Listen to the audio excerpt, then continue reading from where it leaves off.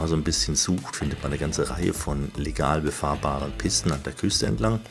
Das hier war unsere absolute Lieblingspiste. Die hat sich so über 15 Kilometer am Meer entlang gezogen, am Strand vorbei, über Berge und Täler.